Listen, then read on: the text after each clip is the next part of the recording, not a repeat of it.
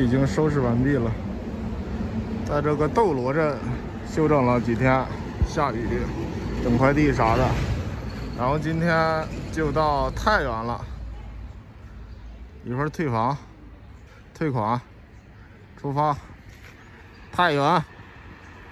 今天的天气又是阴沉沉的，但愿一路下来不会有大雨，下的小雨无所谓。人杰地灵，阳曲四十三公里，太原六十四公里，出发！一上来就是一个大上坡，好几天不骑车呀，一上来就是气喘吁吁了。导航不知道什么情况，让我往回走。今天抱着还是有雨，但愿别下雨吧，因为我连雨衣、雨伞都没有。旅途就是这样，如果是一切准备好，一切的一切都准备好，都没有任何意思了。好多事情不是准备好就能安心的，索性。未知的旅途才是最刺激的，还得查一下路线。我一直走是到目的地是一百一十三公里，也不知道今天能不能到。前面修路呢，估计这路不好走。往左边走一百三十多公里，将近一百四，没修路，大车多，二选一。我选往前走，修路的地段。一百一十三公里，一直走可以插到京昆线。这少走二十二十公里吧，一直让我插回去，插回去。难道前面修路封上了？上面也没显示啊。硬着头皮走吧，即便是修路，在两边也可以推过去。Hello，上坡，上坡。这条路线选的不大理想，还是上坡比较多。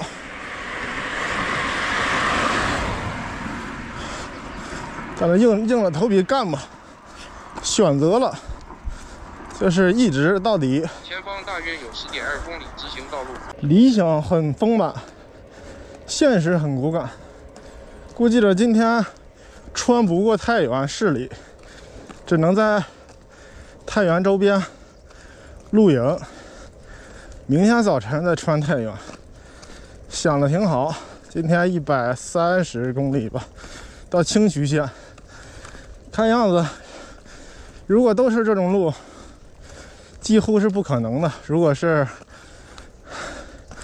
如果是骑到晚上，应该还可以，但是不能骑到晚上。国道幺零八。谁知道前面修路修的咋样了？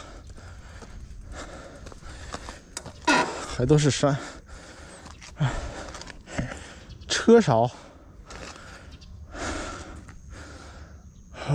前方施工，禁止通行。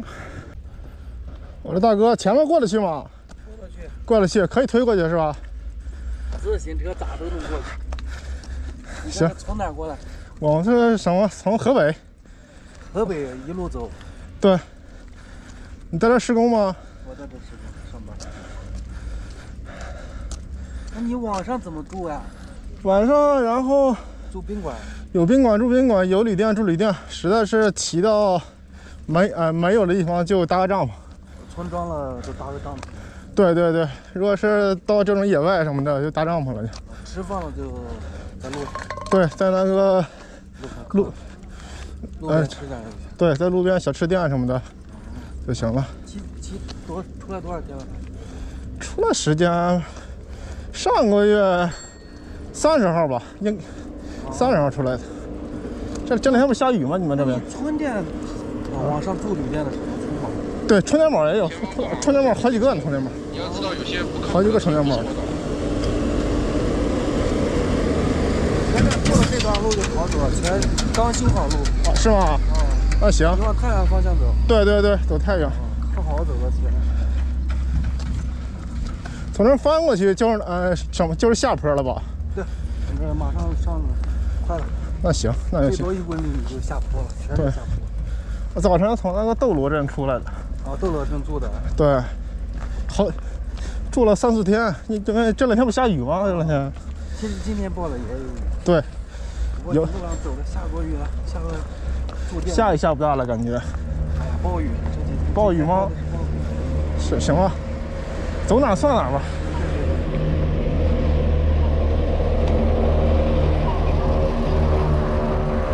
反正这一路都有那个吃喝啥都有，还有住店什么的。下雨就住店，准备去从这边转回去还是不是准备那个终点是到新疆。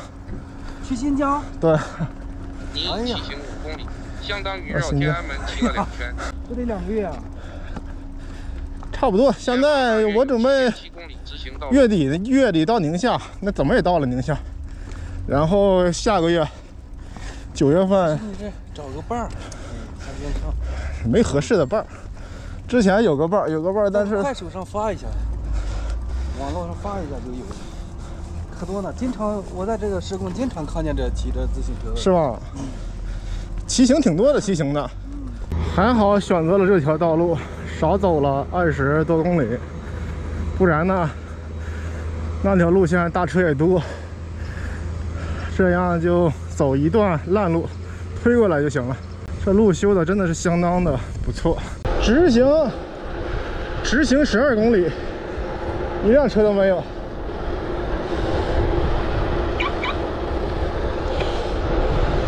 好爽啊！哎，这咋还挡着了？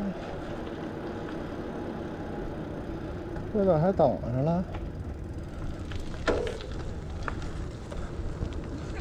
还有七十公里到清徐县，现在刚刚八点。得益于这条路特别好走，特别平，特别爽，特别在状态。估计着今天下午能到，早早的到。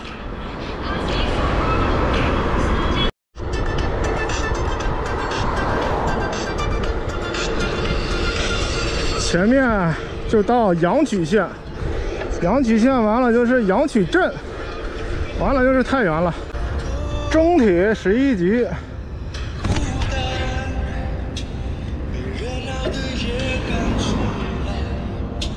我导航导到滨河东路，十五公里，是穿插穿插穿到小路下面来了。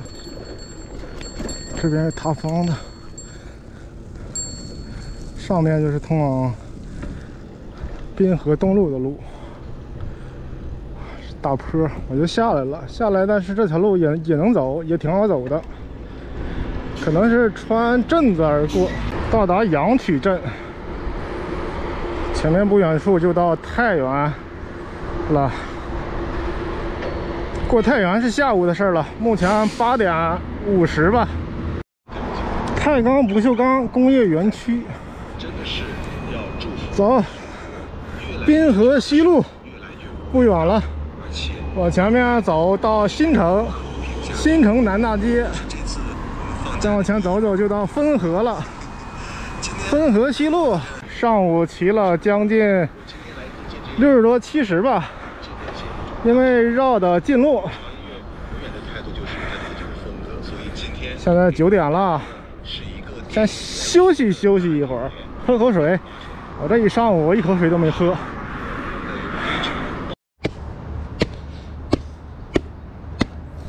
这一路下来全是土，该休息休息了。休息休息，喝口水，喝完再往前走。我感觉一鼓作气，能穿过太原，到达清徐，还有四十五十公里吧，还是四四十九公里。下午的事情了，上午的视频就拍到这里吧。清徐见，下午见。